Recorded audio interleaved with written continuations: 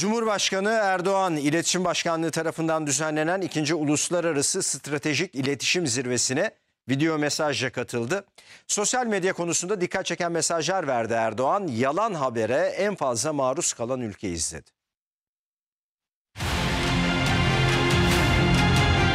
Türkiye gerek stratejik konumu, gerek izlediği özgün politikalar, gerekse bölgesel ve küresel meselelerde sergilediği ilkeli duruş nedeniyle dünyada üretilmiş ve maksatlı yalan habere en fazla maruz kalan ülkelerden biridir.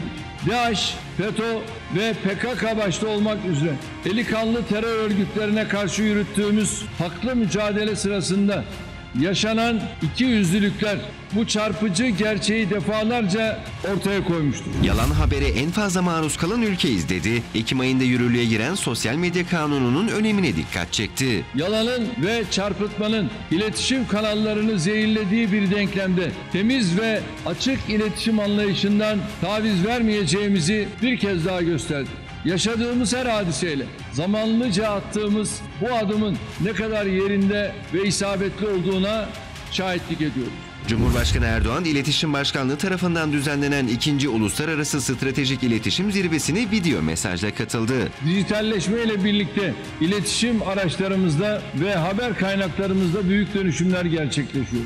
Elbette her yenilik gibi iletişim alanında yaşanan bu değişimde beraberinde fırsatların yanı sıra çeşitli riskleri getiriyor. Dijital zorbalardan bahsetti. Aileleri uyaran Erdoğan, dijital terörizmin de bir milli güvenlik sorunu olduğunu söyledi. Önü arkası araştırılmadan ortaya atılan ithamlar kimi zaman telafisi mümkün olmayan zararlara yol açıyor.